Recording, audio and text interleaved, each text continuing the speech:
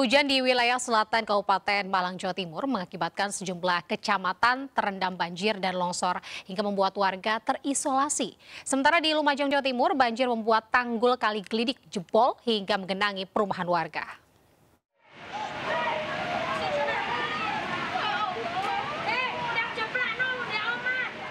Hujan dengan intensitas tinggi yang terus mengguyur wilayah selatan Kabupaten Malang, Jawa Timur mengakibatkan sejumlah wilayah seperti Kecamatan Sumber Manjing, Donomulyo, Tirtoyudo, Bantur, dan Gedangan mengalami banjir dan longsor. Di Desa Sitiarjo, Kecamatan Sumber Manjing, Wetan, dan Desa Pujiarjo, Kecamatan Tirtoyudo, longsor terjadi di sejumlah titik yang mengakibatkan terputusnya aliran listrik. Tak hanya itu, banjir setinggi 2 meter hingga 3 meter membuat sejumlah akses terputus, membuat 500 hingga 800 warga di Sumber Mancing Wetan terdampak. Mereka sudah tahu mana yang titik aman, mana yang titik yang tidak aman. Sebagian tadi sudah dievakuasi ke rumah saudara-saudara yang aman, atau ada juga tadi yang dibawa ke puskesmas dan di uh, gereja. Hujan intensitas tinggi juga membuat debit air aliran Sungai Glidik, Desa Purworejo, Kecamatan Tempur Sari, Lumajang, Jawa Timur, meninggi hingga tanggul jebol. Akibatnya puluhan rumah di satu desa terendam banjir antara 20 cm hingga 1 meter. Sungai Glidik merupakan salah satu daerah aliran sungai yang berhulu langsung dari Gunung Semeru. Petugas BPBD mengimbau warga tetap waspada karena cuaca ekstrem masih akan terjadi. Dari Malang dan Lumajang, Jawa Timur, Saif Hanjarani dan Yayan Nugroho, iNews melaporkan.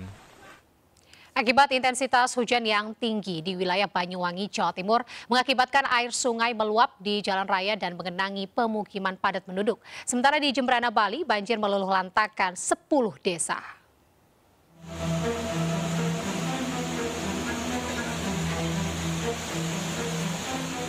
Debit air sungai Sobo yang melintas di tengah kota Banyuwangi Senin pagi cukup deras dengan debit air tinggi.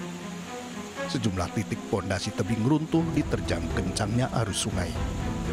Warga bahu-membahu membersihkan sampah yang menutup arus air sungai di bawah jembatan. Banjir juga mengakibatkan ruas jalan di tengah kota Banyuwangi terendam setinggi 20 hingga 50 cm.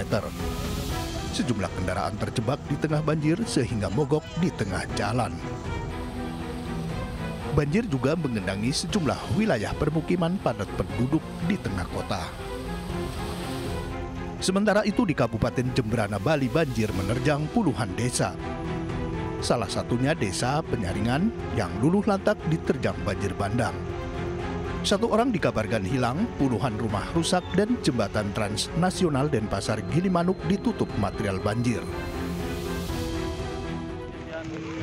Pertamanya itu dari sekitar jam setengah tujuh sore sudah mulai naik. Yeah.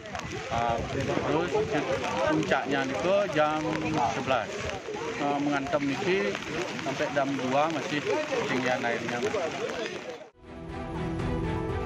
Dari 80 kakak warga yang ada, 70 kakak di antaranya terdampak dan warga harus diungsikan.